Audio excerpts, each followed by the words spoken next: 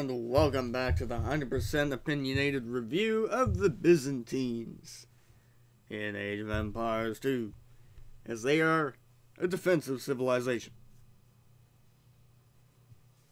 That's a pretty good definition of them. So let's start with their economy here. To be honest, I have played a fair bit with this civilization, but not a lot. It's not like hardcore Byzantine, yeah, bring back the Byzantine Empire, although sort of in favor of that. We won't get into that yet. Alright. They have a good economy. They have a good, yeah, just all around economy. Absolutely solid. That's great. Their university, however, is surprisingly trash. As they don't get masonry, they don't get architecture, they don't get siege engineers, and they do not get treadmill crane, which makes them very education-wise uneducated. But they do get chemistry, bombard towers, and everything else that goes along, and they don't get heated shot. So don't put these guys by the water, or you're gonna get bombard cannon or cannon galleon, whatever, by the Spanish. The blacksmith, solid. They're missing blast furnace, not a big deal, in my opinion.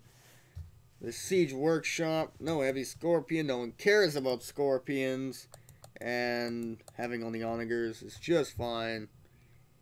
Their castle, they don't get sappers. Not a huge deal. No one actually cares about that tech unless they're trolling around. And their monks, one of the better ones. They get everything except herbal medicine, which helps garrison units. Not a big deal for missing that, as they get redemption and everything else to make their monks as annoying as ever. Their navy is actually one of the better ones, as they get everything. Literally, everything. So, that's a redeeming factor there. Their cav, pretty solid. They don't get bloodlines, but they do get hush, husbandry. So, a good stable. Their barracks, they get pretty much everything except the obvious Eagle Scout, Eagle Warriors. So, again, really solid. And then their archery range. They get everything except Parthian tactics. Again, really solid. So, let's look at their special parts of it.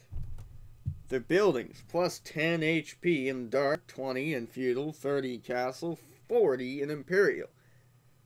So, along with, I believe, no, okay, they don't get that, but how much do these give again? Uh, 10% more hit points. 10%. So it easily makes up for those university techs that they are lacking for a total of 30, 60, 100% on all their buildings. So you're going to have to spend a little more siege to take these guys down. Camels, skirmishers, pikemen, halberdiers cost 25% less. Along with all those being really solid, you get to save on them as well. Fire ships, 20% more attack. That's actually really good.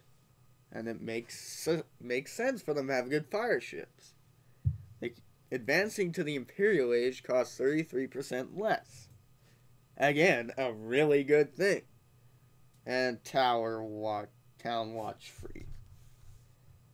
As mediocre as that is, that's something, I guess. That's the one okay thing in all that. Let's be honest. The unique unit, of course, is the famous, or if you're Turkish, the infamous Cataphract. Very good cavalry unit. They are on the more expensive side, from what I remember. Yeah, a little bit. 70 food, 75 gold. But overall, they are well worth it, in my opinion. As you can just get an army of cataphracts and maul over your opponents, including the Turks. Oh man, they don't stand a chance with their Janissaries. The cataphracts are just too overpowered for that. and their unique techs Greek Fire, of course, fire ships plus one range, which makes their fire ships even better, and Logistica. Cataphracts cause trample damage. So now their cataphracts are even more overpowered and can take down those Janissaries even quicker. Alright, moving on to the team bonus. Monks plus 50 heal speed. So now they can just heal their allies in half the time.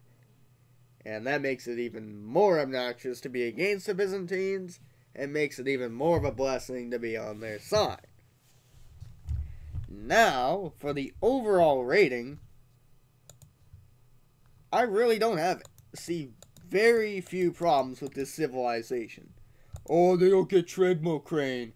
Yeah, but if they actually get all their stuff up, they can build castles. And even if they don't have heated shot, they can build fire ships, overpowered fire ships at that, to protect their village anyhow. So you're going to want to make sure they don't build anything, basically. Like, there literally is no problem with this civilization. No big gaping problems.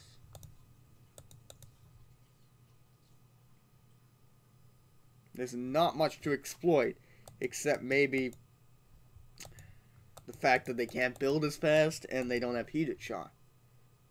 So they're not a perfect civilization by no means. They're not exactly overpowered, but they can definitely be one of the top civs in my opinion. So they're gonna get the highest rating I've given to this point, an A. And the only reason they don't get an A plus is because they don't have treadmill crane and heated shot. So if if you're not playing on a naval map like Black Forest, heated shot, who cares? They're good. Treadmill Crane, however, is a big loss. Bloodlines, not a huge deal. So a very, very, very, very good civilization. Not an A plus, unfortunately. I don't know if anyone's gonna get an A plus from me. Because I'm that guy who will not give you an A plus. You'll get an A, but you're not going to get an A plus because that's basically you're perfect at that point. Uh, unless I feel meme worthy. But I'll see you next time when I'm moving on to the next civilization, which will be the Celts. I'll see you then. Subscribe, like, comment, share, bell button, and I'll see you next time. Peace. Nice.